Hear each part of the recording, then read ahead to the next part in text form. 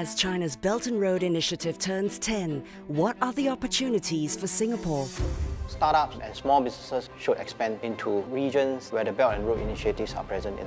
Companies that have green technology and innovations would have a unique role to contribute. For BRI, businesses, legal practitioners in Singapore can provide advice on a whole host of legal areas. Singapore and the BRI, opportunities ahead. 16 October, Monday on CNA.